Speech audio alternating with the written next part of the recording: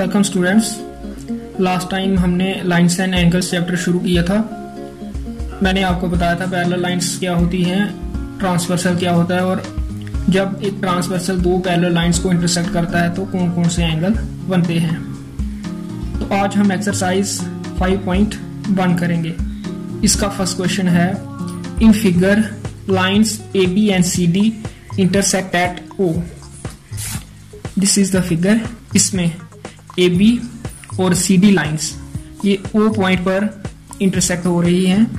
If angle A O C plus angle B O E A O C angle B O E इनका sum 70 degree है and angle B O D 40 degree find angle B O E ये angle we O E ये find करना है and reflex C O E C O ई इस angle का reflex पहले हम ये एंगल फाइंड करेंगे एंगल सी ओ ई फिर 360 में से ये एंगल अगर हम सब्ट्रैक्ट कर दें तो वो आ जाता है इसका रिफ्लेक्स तो करते हैं।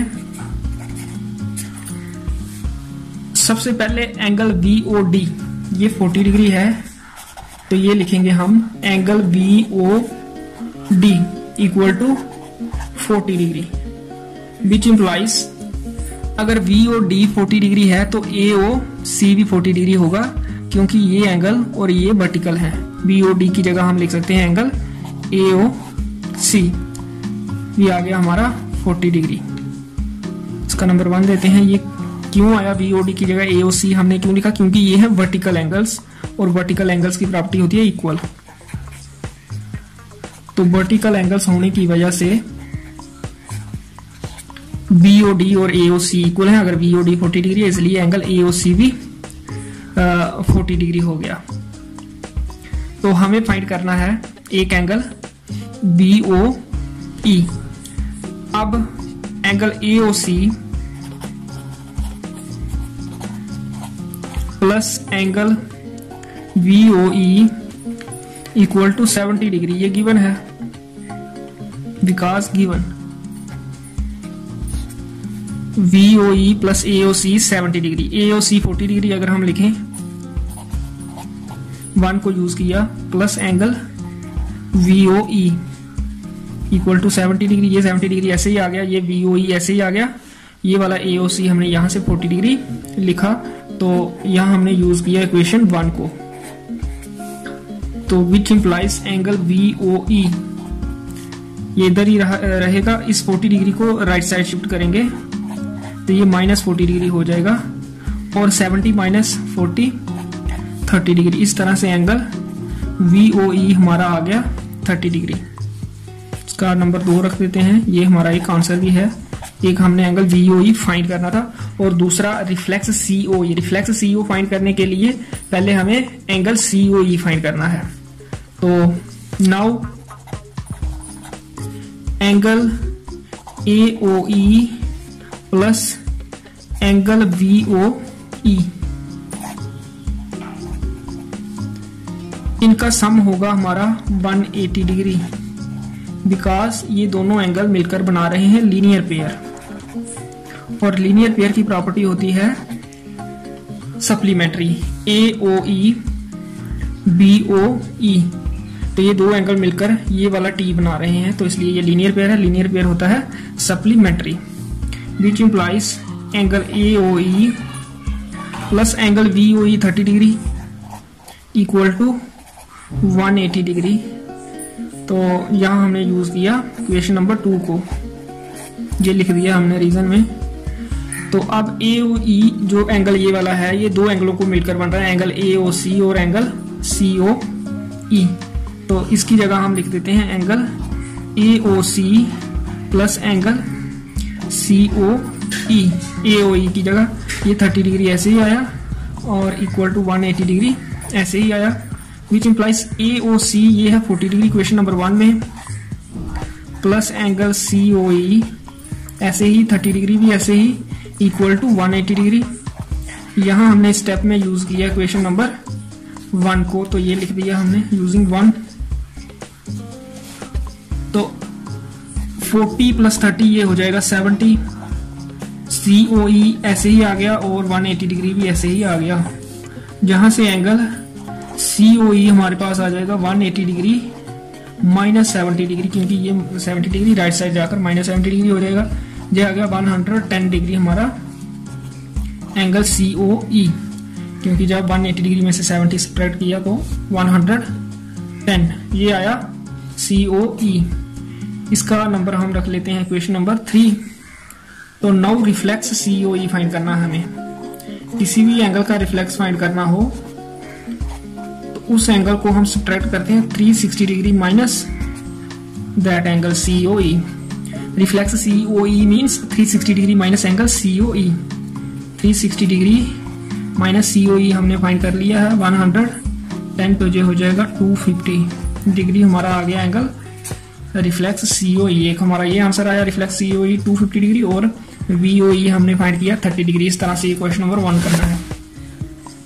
नेक्स्ट है question number two in figure ये फिगर जो है lines X Y and M N ये दो लाइंस हैं इंटरसेक्ट एट ओ इस पॉइंट पर इंटरसेक्ट हो रही है, इसका नाम है O if angle P O Y ये वाला एंगल 90 डिग्री है. And A ratio B is equal to two is to three angle A और एंगल बी की रेशो टू रेशो थ्री है फाइंड एंगल सी ये एंगल फाइंड करना है। तो इस एंगल को फाइंड करने के लिए हमें पहले ए फाइंड करना पड़ेगा। जब ए हमारे पास आ जाएगा, फिर ए प्लस नाइन्टी और ये एंगल बराबर होंगे क्योंकि ये वर्टिकल एंगल्स होंगे। सबसे पहले हमें ए फाइंड करना है। तो उसके लिए हम लिखेंगे angle P O Y plus angle P O X equal to 180 degree P O Y और पी ओ एक्स ये टी बना रहे हैं, दोनों एंगल मिलकर। तो इसलिए ये लीनियर पेयर बन रहा है और लीनियर पेयर होता है सप्लीमेंट्री इसलिए इनका सम आ गया 180 degree which implies P O Y given है 90 degree plus angle P O X आ गया 180 डिग्री यहाँ से हमें पी ओ एक्स भी 90 डिग्री मिलेगा 180 degree minus 90 degree that is equal to 90 degree angle P O X ये एंगल पी ओ एक्स जो बनता है ए प्लस बी को मिलाकर, ये आ गया 90 डिग्री नाउ एंगल ए जो है is equal to two ratio three है. Two upon five two plus three into angle P O X क्योंकि ए है टू टाइम्स बी है थ्री टाइम्स तो दोनों मिलकर ये पूरा एंगल बन रहा है पी ओ एक्स तो जो जो एंगल ए है ये होगा two upon two plus three times angle P O X that is equal to two upon five times angle P O X two upon five times ninety degree is equal to one eighty degree ninety into two upon five that is equal to thirty six degree हमारा आ गया angle A thirty six degree ये वाला A angle now angle M O Y ये है हमारा ए plus ninety degree ये पूरा एंगल यहाँ से लेके एम ओ वाई ए और ये नाइन्टी डिग्री मिलकर बनता है एंगल एम ओ वाई तो ए हमने यहाँ फाइंड किया क्वेश्चन नंबर वन में थर्टी सिक्स डिग्री और ये नाइन्टी डिग्री ये बन जाएगा हमारा वन ट्वेंटी सिक्स डिग्री यहाँ हमने यूज़ किया क्वेश्चन नंबर वन को ये लिख लिया। तो हमारा एंगल एम ओ वाई आ गया 126 degree now angle MOY is equal to angle NOX ये वाला एंगल जो है एन ओ एक्स और ये एम ओ वाई ये वाली लाइन और ये वाली लाइन जब यहाँ इंटरसेक्ट हो रही है तो ये वर्टिकल एंगल्स बन रहे हैं। ये क्यों बराबर हैं? Because these are vertical angles और वर्टिकल एंगल्स की प्रॉपर्टी हमने स्टडी की हुई है कि ये होते हैं इक्वल इसलिए ये दोनों angle equal M O Y हमने यहाँ फाइंड किया हुआ है। 126 डिग्री इसका नंबर टू रखते हैं। Equal to angle N O X यहाँ हमने यूज़ किया। क्वेश्चन नंबर टू को, इस क्वेश्चन को एम ओ वाई हमने 126 डिग्री लिखा और ये 126 degree equal to N O X ही हमारा एंगल सी है। एन ओ एक्स ये वाला। तो यही हमने फाइंड करना था। हमें हमारा एंगल सी मिला 126 डिग्री इस तरह से ये क्वेश्चन करना मैं दोबारा समझा देता हूँ। ये एंगल 90 डिग्री गिवन है, ये एंगल ए है और ये एंगल बी है।